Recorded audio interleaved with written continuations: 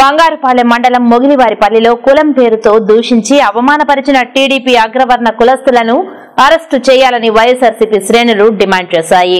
శుక్రవారం మొగిలివారిపల్లిలో ఏర్పాటు చేసిన మీడియా సమావేశంలో మొగిలివారిపల్లిలో జరిగిన వివక్షతను వైఎస్ఆర్సీపీ నాయకులు తీవ్రంగా ఖండించారు.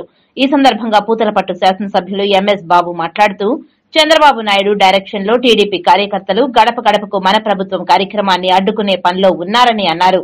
మొగిలివారిపల్లిలో గడప గడపకు మన ప్రభుత్వం కార్యక్రమం చేస్తుండగా అగ్రవర్ణ కులస్తులు తమ పార్టీకి వ్యతిరేకంగా ఆలయంలో సైకో పాలన పోవాలి సైకిల్ రావాలి అంటూ పాట వేస్తూ కించపరిచే విధంగా మా నాయకులు కార్యకర్తలు అధికారులకు చెప్పులు చూపించడంను తీవ్రంగా ఆయన ఖండించారు. రాష్ట్ర ఉప ముఖ్యమంత్రి కళత్తూరు నారాయణ స్వామిని అడ్డుకున్నారు. అలాగే తనను కూడా గడప గడపకు మన ప్రభుత్వం కార్యక్రమంలో తనను తన కార్యకర్తలను కూడా అడ్డుకుంటూ పేరుతో దూషిస్తూ అవమానపరచడం బాధాకరమని అన్నారు.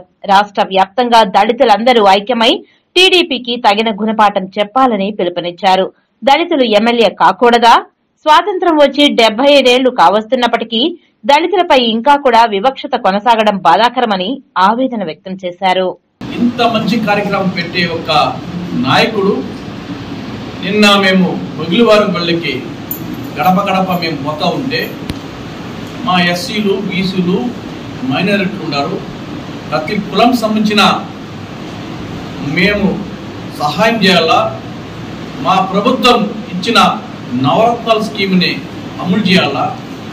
గడప గడప కార్యక్రమం పోయి అక్కడ ఉండే గ్రామం అభివృద్ధి చేయాలా? ఇటువంటి కార్యక్రమం చేస్తూ ఉంటే నిన్న టీడీపీ నాయకులు ఆ ఊరికి రాకుండా అడ్డుపడి మీరు ఎందుకు వచ్చినారు? నువ్వు ఒక ఎస్సీ మాల ఎస్సీ నువ్వు మా ఊరికి ఎందుకు వచ్చినావు అని చెప్పి అడ్డుపడుతున్నారు.